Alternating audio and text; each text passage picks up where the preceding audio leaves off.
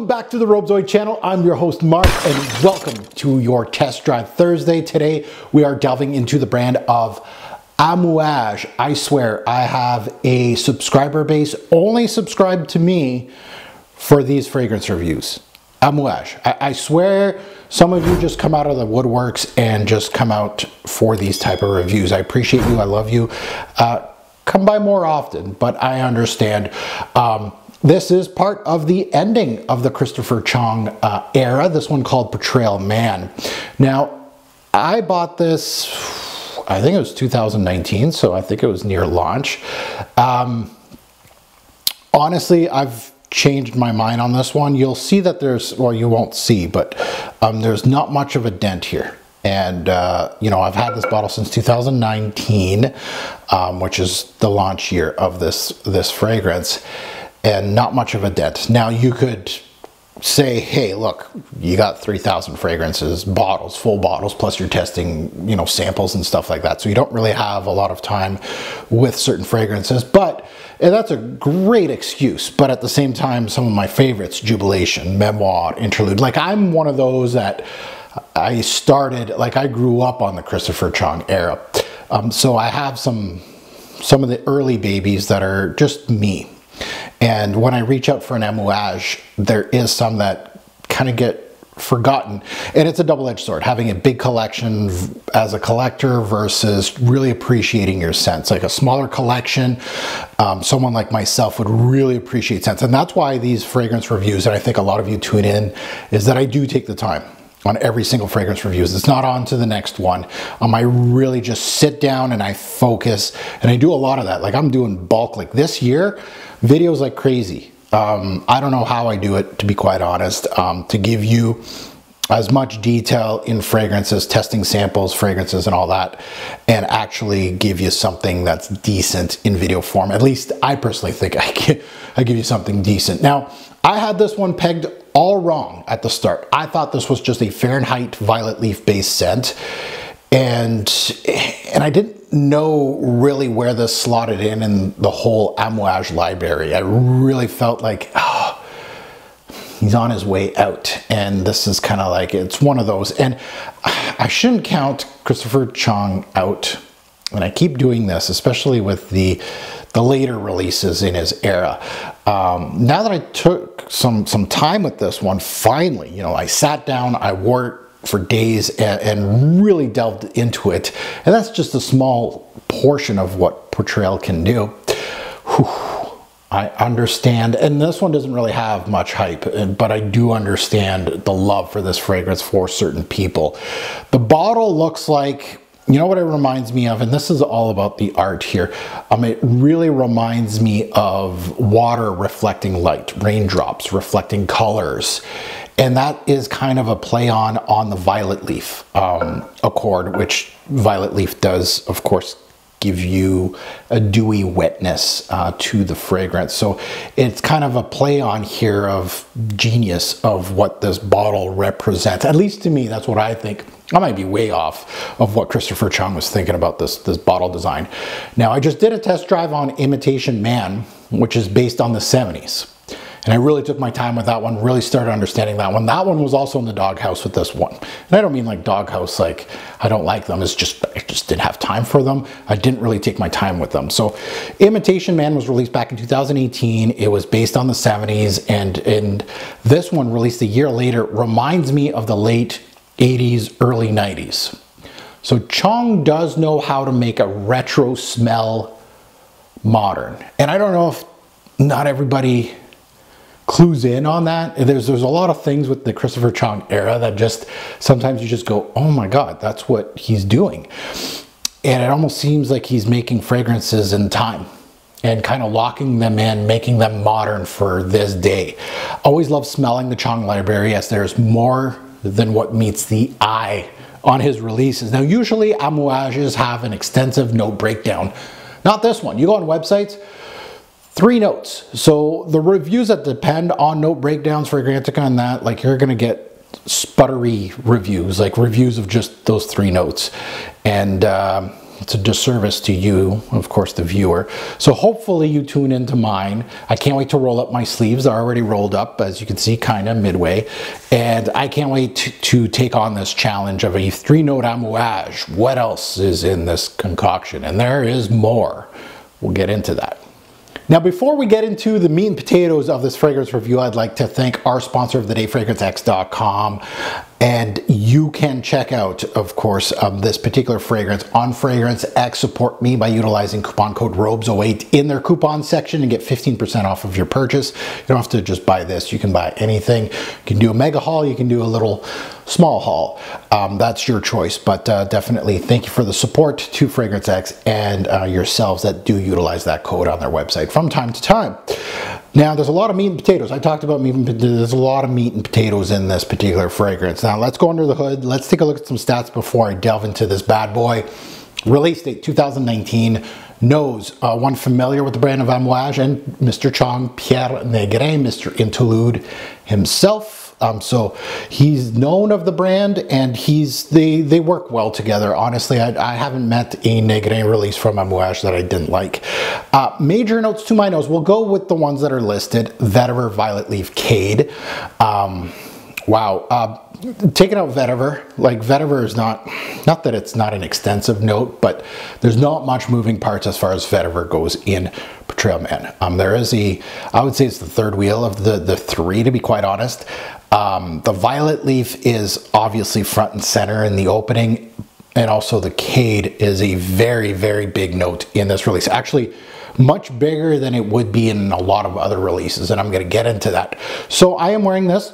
It is my scent of the day today, but uh, we are going to remind me of the introduction. We're to do two sprays. Why not? Love, love the sound of that. Now, mm, and I have it on strip too. And this is a good one. Um, I really, like if you go see my unboxing of this and first impression, uh, I didn't give it just, just, I liked it, but I didn't give it justice. Now, right off the bat, magic happens. There's a lot going on, and I'm going to try to decipher, and I'm going to try to hit the, all the little building blocks. But um, right off the bat, yeah, magic happens for me and disappointment for some. And what do I mean by that? You get that Fahrenheit reference right away, that violet leaf. It is a major player in this introduction. It honestly, now that I've dissected this thing, one of the best violet leaf notes in the game is right here in front of me. Portrayal hits you right over the head with this note and references every single inch of the note. And that's what I absolutely love from the brand of Amouage is at times you are going to get a note and you're going to get this three-dimensional note and you almost kind of forget that this note can give you certain things here and there. Um, some fragrance brands utilize certain things in, in, in notes like case in point violet leaf. Violet leaf can just be very watery. It can make a summer scent really, really nice and uh, they kind of get away from certain aspects of it, the the darker aspects of it. Noses do that. Um, Fahrenheit's another, you know, the other side of that scale.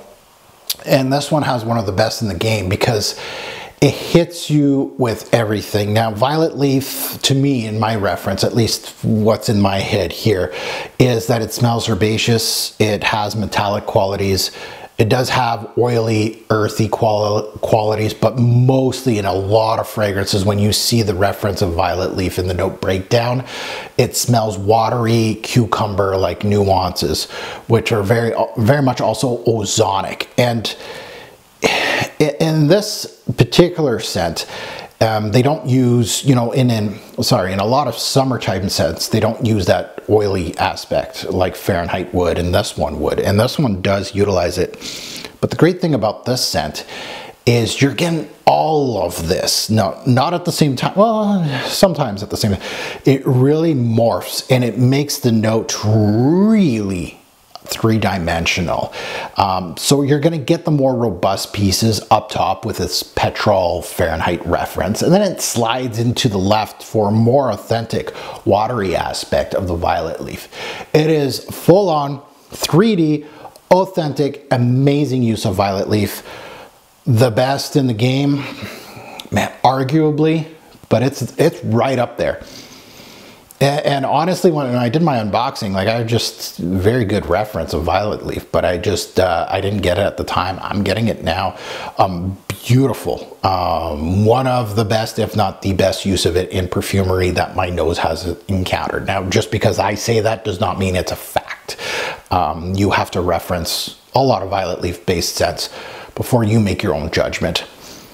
Now, the Cade oil comes into play. Uh, much it's a much larger note in the back end but we're going to speak a little later about the cade uh, but it does play a part in this opening and i just wanted to nudge it just a little bit because of that petrol like feel. Cade does give out smoky aspects. It's mostly known basically.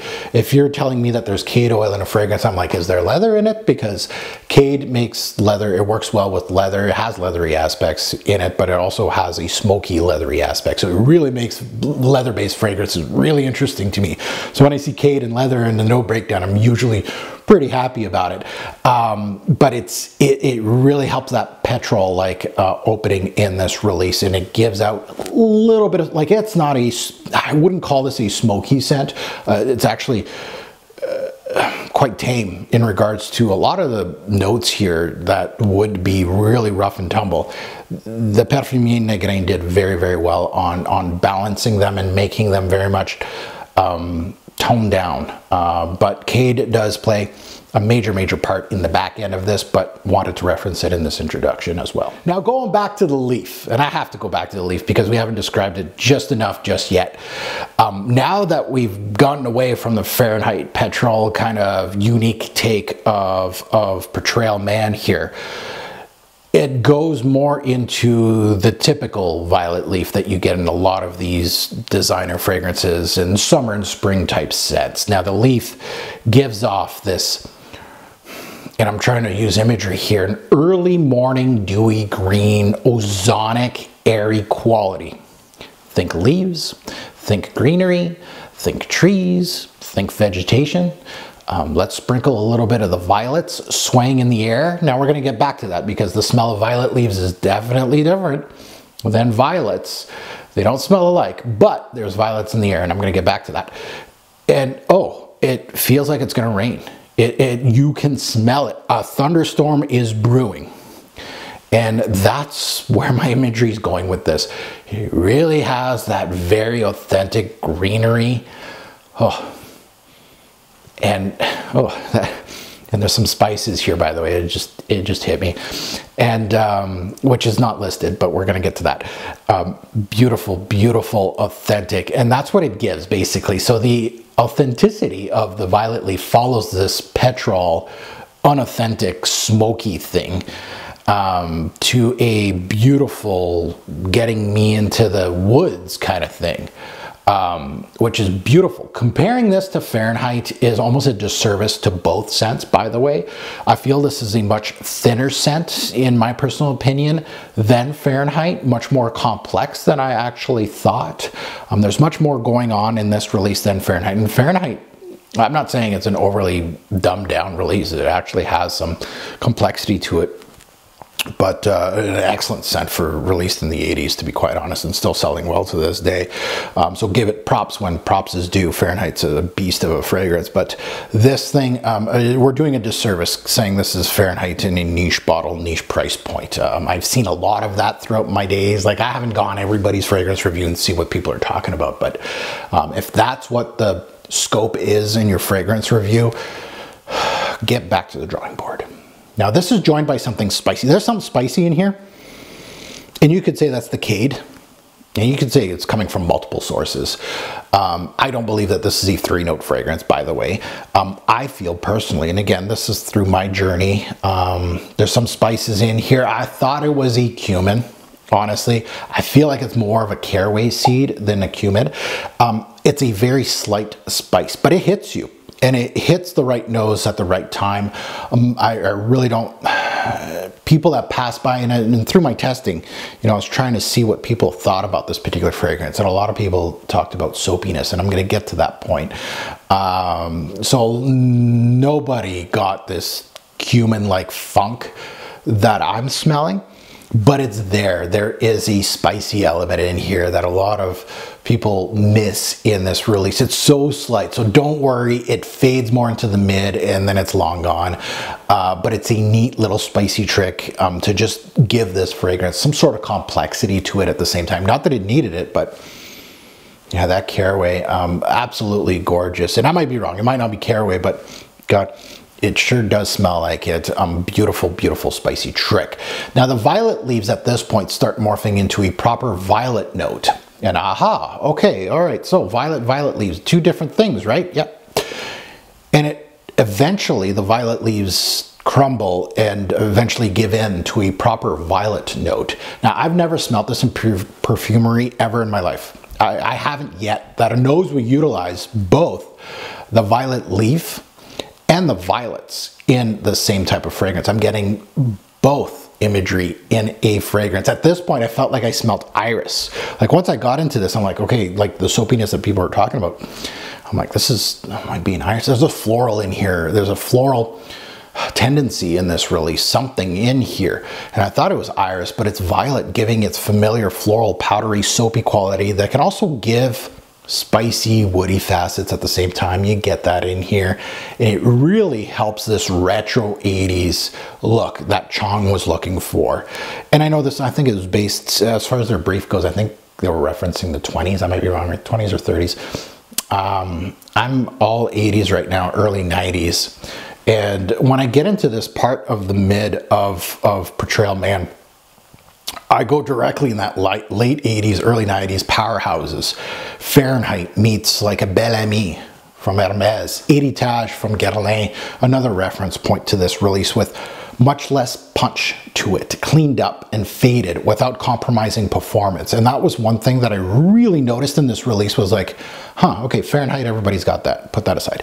Um, Bel Ami, well, there's some um, spicy facets in this release, and I'm referencing the Caraway, uh, is, is, is very uncanny with some of those, you know, mid 80s. Like I'm talking, I think Bel Ami was in 86, correct me if I'm wrong, more late 80s than anything. And then early 90s, which Heritage from Guerlain was a 92 uh, release. Uh, so much less punch in those fragrances. Those are powerhouses. This is cleaned up. This is um, faded almost, but not comprom compromising any performance. You know, this is not a two hour release, uh, but it feels I don't want to say watercolor-esque because it's not, because there is some piquant to it, there's some spicy to it, there's uh, obviously some smoke, and there's some leather bases too. So Chong and Negrin here really nailed that imagery to me. This is right where it brought me to. Less spicy, Still has it tucked in, in there a little bit. Floral, but well hidden to many noses. Um, I, I, haven't seen anybody really referencing a lot of florals in their reviews per se. They're just talking about the violet leaves and leathery. And we're going to get to that point. There's lots of leathery nuances here that really reminds you of those powerhouses. And of course, some woody aspects at the same time.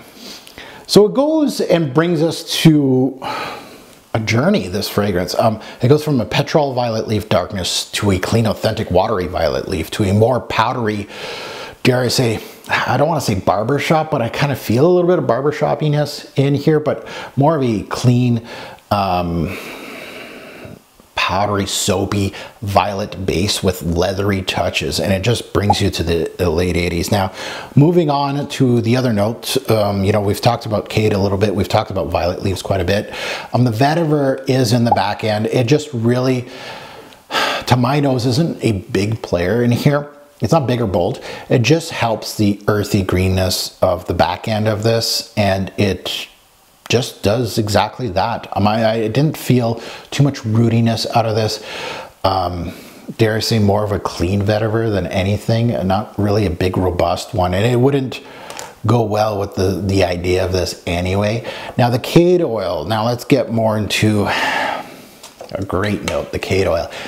Okay, so the violet leaf, uh, at least from what I think, I've established that it's one of the best in the game. The Cade oil here is a huge part of portrayal from start to finish, but it really makes its presence known in the back end. Now, Cade to me, when you're talking about Cade, and I already referenced this already, is that when I see it in fragrances, especially in leather ones, I, I get happy. You get the little happy dance. It gives fragrances smoke. And that's my reference point of Cade. When I think about Cade oil, I think about smoke. Uh, that's all I think about really, is mostly what it's known for. But here, just like the violet leaf, um, it shows everything of the Cade. And, and these are things that I've, you know, I'm, I'm, blown away with. It shows the, obviously it's root from juniper berries. So it's giving out that juniper gin aspect to this release to uh, the resinous smoky quality, which is refined here. It never really chokes out the user. You know, you're not going to call this a smoky release by any chance. I don't think I would. Um, I feel that's like a part of it, but it's and funny enough, Cade is, I'm, I'm, surprised that he didn't use birch tar in this release because Cade and birch tar both kind of give off a petrol-like note, but birch tar is much more pronounced than Cade. Um, so they used Cade in here because of probably the other um, other aspects of the Cade that comes into play in this. Obviously the juniper reference is huge in here, but it also shows a beautiful leathery back end. Um, beautiful leather in the back end of this set. And that it's that's its major contribution in this in this scent is that it's leathery aspect, the smoky aspect, of course, but also a woody aspect in this release. Um, the Cade is brings everything together in this release. I've never really seen Cade be um, so prominent in a, in a release, or at least do so much in a release. Like it's more of a supporting role in a lot of fragrances that I've tried within my journey. Um, I've never experienced it, and, and I've never really experienced it. Well, I've experienced it muffled a bit, but here it really balances well. Like Negrin did his thing here. Now, that leathery tone is prominent and it will hold hands with the violet note, not the violet leaf, but the violet note. There's a slight pine-like woody aspect in this release too, and it just blends perfectly with the rest of the scent. A modern 80s powerhouse dressed up, in my opinion. Um, definitely a, a, a, fragrance that, um, you know, I do these test drives for, for you know, to help out people, honestly. Um, you know, there's a lot of things through my experience that I hope it helps you out or, and rediscover, discover, whatever it is on a fragrance, especially something like this that has a lot of artistic back end to it. Um, but at the same time, I am being a little selfish as these test drives. Really, with a collection like this, it's almost impossible for anybody to really enjoy every part of their collection. There's there's I would say hundreds of fragrances behind me, and you're not seeing everything here. This is just like a third, and not even. Um, but the problem is, is fragrances like this uh, don't get the appreciation from me. Um, you know, you don't know what you have until you really spend time with it. And these test drives kind of give me that chance that, it, yeah, sometimes they're duds, but sometimes they just really just surprise you. So, voila that's the end of that. But overall, this is a perfect rainy day, gloomy day type of scent, you know, staying in, reading a book, um, or going out for a walk in the rain. Um, with a collection like mine, it's easy to buy and forget, and this is why proper testing before doing a review is a must. Um, it is a must. It's something that I'll never stop doing. I'll never cookie cutter it. I can't. I hardly put a dent in this one, and the proof's in the pudding. I'm not a splitter, so I, I don't, you know, I'll tell you if a splitter of mine split a bottle and it's 50%, um, and some of them I just buy full retail, like kind of like this. Um, but this is simply a beautiful scent that I took for granted, that I just, just collected dust, and I need to reach out more uh, for this one. So this test drive kind of opened up my eyes on it. Um, and I shouldn't doubt Mr. Chong. I really shouldn't. I, I don't know why keep doing it, especially with his later releases with Amouage. All right, now that I had my fun with Portrayal, uh, time to close this one off. Let's talk about seasons, day-night versatility and performance. Uh, seasons for this one, I already said it. It's perfect for rain. So spring, spring, spring. Um, I, I, I, can't wait for the spring season to come. I know I'm, I'm getting, you know, uh, no, there's snow on the ground, so I'm not getting early Uh, but I, I, can't wait for spring to show up. I feel like this one's to be great for that. Early fall, I mean, could wear it during the winter. I feel like you can even wear it during summer nights. There's no reason why not. That violet leaf is, is great. Um, the only thing is the soapiness of the violet, personally. Um, I feel like in the high heat may be a little too much. And that leather back end, of course. Day or night, both. Um, again, for spring, like gloomy day, you know, it's raining you can wear it. And then at night, you know, it's a little cooler. Why not? Um, I feel like a rainy, uh, windy day, this will be perfect. Versatility high. I can wear this for almost all occasions, dress it up, dress it down. Um, I feel like dressing it up would be actually perfect for this release, but um, yeah, dressing it up, dressing it down, um, most seasons. Um, the only thing I, I, I think is you know, the age range. Um, I, I, think depending on your nose, this may be worth it or, or not to you, depending. Uh, performance. Performance is amouage performance. Um, you tend to almost look at fragrances like this, the lighter ones, and go, yeah, right, you're not going to give me performance. No. It's almost like a joke now. Uh, longevity is 9 to 12 plus hours on my skin. When I wore this, I was wearing it. And projection is high. Um, and and I don't really reference like my real life stuff. Usually I, I keep those for full fragrance reviews, not test drives. But this test drive did get people people smelt this on me. And I was kind of I knew the initial, but like I'm talking about several hours later, um, the main focus was on the soapiness, um, which is, um, again, from the violet. Um, that that soapiness comes out, and uh, a lot of people smelt that on this one, at least in several hours in. So my final thoughts of Trailman, and what a journey this little test drive gave me. Um, so what can I say to end this release, uh, or this test drive? I feel at, at, times like these type of fragrance reviews at the end of them, I feel like I really let myself down here. Every time I smell a Chong Era Amouage that I haven't really had the time or took the time to sit down and enjoy, um, I almost feel like I gave myself a disservice. Like I bought it, it went in the collection and collected dust. Um, and it's almost like you're disappointed in it, but at the same time, you didn't really give it a chance. Um, and, and I and I understand why. Um, you know, sometimes that that happens because you do have your favorites of each brand. And honestly, if I started cutting down my collection to you know 20 bottles or 50 bottles, if that ever happens, um, the ones that are the ones that I've wore the most are going to be the ones that I'm going to keep. Um, this is going to be this would be a hard one to let go.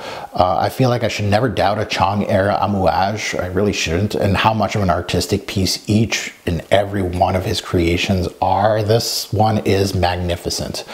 Um, and uh, yeah, I feel like Amouage can't miss at this point. Uh, I feel like every single fragrance review that I've done from Amouage in 2023, which I've probably done several now, um, I've been happy and content. And it is one of the premium niche brands um, to me personally. Like forget Parfums de Marly, forget, you know, Xerjoff and all that. Um, those are the ones that unfortunately get all a lot of the press. Amouage does give out free bottles too. They're part of the free bottle brigade. I, I, it breaks my heart, but at the same time, I don't really care. If you make excellent fragrances, it's proofs in the pudding. I'll never ever pan something just cause. But uh, yeah, I'm done now. Trail Man, unfortunately, uh, will wear it this winter, and I will wear it uh, coming spring too. It's on my radar now, but it's time for you to hit us up in the comments below. And again, I had a subpar experience with this, um, so give it a chance. And, and that's one thing. If you've seen a little glimpse of greatness out of this release, but you, you're out of your little sample or whatever, um, or you haven't given it a chance, you just smelt it and you went with the reviews of this is a Fahrenheit clone. So wrong, wrong, wrong, wrong, wrong. So give it a try. Um, that's my thought process. So looking forward to reading your comments. And again, if your comment down below is completely opposite of mine, and you say, hey, no, this smells like Fahrenheit to me with a really high price tag, awesome. Um, you're, you're allowed your opinion uh, as much as I am to mine, of course.